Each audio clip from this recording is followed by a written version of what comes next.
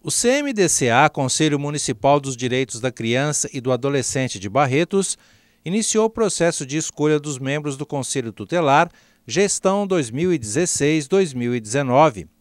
Serão seis etapas sucessivas e eliminatórias, que culminarão com a escolha e eleição de cinco membros para o Conselho Tutelar.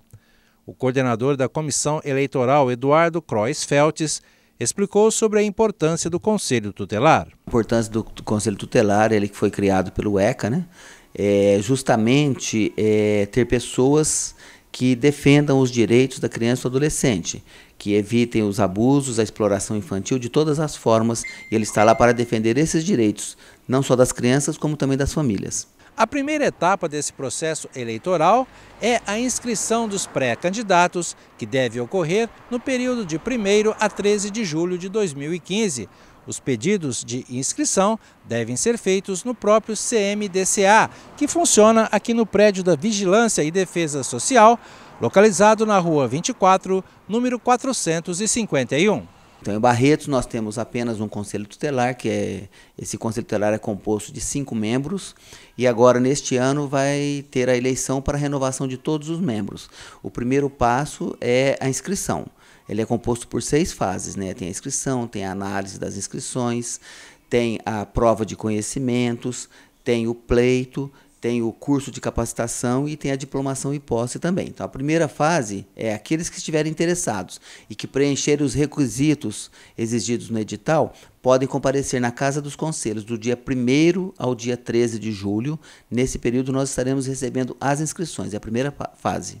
O coordenador da comissão eleitoral explicou que atuais conselheiros podem se reeleger desde que não tenham cumprido dois mandatos em sequência. Aqueles que não estiveram à frente do Conselho Tutelar por mais de um, de um mandato e meio podem ser reconduzidos, porque a nova lei, que ela tem uma, um, ela é de caráter nacional, ela prevê apenas uma reeleição. Então nós consideramos que quem tem um mandato pode concorrer a outro. Quem tem mais de um mandato e meio, considera-se dois, não poderia estar concorrendo.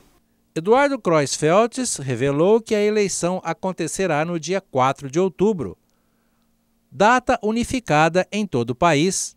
Segundo o coordenador, existem alguns pré-requisitos observados na avaliação de um pré-candidato. Tem que ser maior de 21 anos, tem que ter segundo grau completo, tem que ter reconhecida idoneidade moral, residir e ser eleitor no município de Barretos há pelo menos dois anos, tá? porque muita gente às vezes está voltando fora, não pode tá? estar em gozo dos seus direitos políticos, não pode ter nenhum problema com a justiça eleitoral, é, e ele tem que ter uma comprovada experiência profissional com a criança e adolescente por no mínimo 12 meses nos últimos cinco anos. Tá? O segundo grau, já falei, tá?